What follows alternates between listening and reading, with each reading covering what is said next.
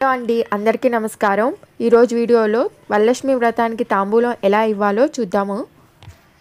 అందరికీ తెలిసిందేనండి కాకపోతే కొత్తగా ఎవరైనా చేసుకునే వాళ్ళకి ఉపయోగపడుతుందని ఈ వీడియో చేస్తున్నాను. ముందుగా ఒక ప్లేట్లో ఒక బ్లౌజ్ పీస్ రెండు తమలపాకులు రెండు అట్టుపళ్ళు వేయాలండి.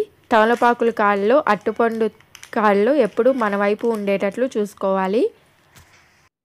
ఇలా వీడియోలో పెట్టానండి. కానీ మీరు ఇచ్చేటప్పుడు మాత్రం కాడలు మన వైపు ఉండేటట్లు చూసుకొని ఇవ్వాలి. ఇక వక్క ఎండు ఖర్జూరం పువ్వులు గాజులు శనగలు ఇవ్వాలండి. పసుపు కుంకుమ సాచెట్స్ ఉంటాయి కదండి. అవి ఇవ్వచ్చు. లేదా ఇలాగా మనకి బయట పూజా స్టోర్స్లో అవైలబుల్గా ఉంటాయి. పసుపు తాడు పసుపు కుంకుమ చిన్న చిన్న బాక్సెస్లో ఇది పెట్టి ఇవ్వచ్చు. పక్కన చిన్నపిల్లలు వస్తూ ఉంటారు కదండి వాళ్ళకు కూడా ఇలాగ ప్లేట్లో తాంబూలం ఇస్తే చాలా మంచిది.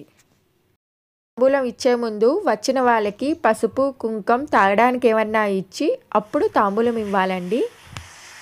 లక్ష్మి వ్రత కథ పూజకు కావలసిన సామాగ్రి లింక్స్ కింద డిస్క్రిప్షన్లో ఉన్నాయండి ఒకసారి చూడండి.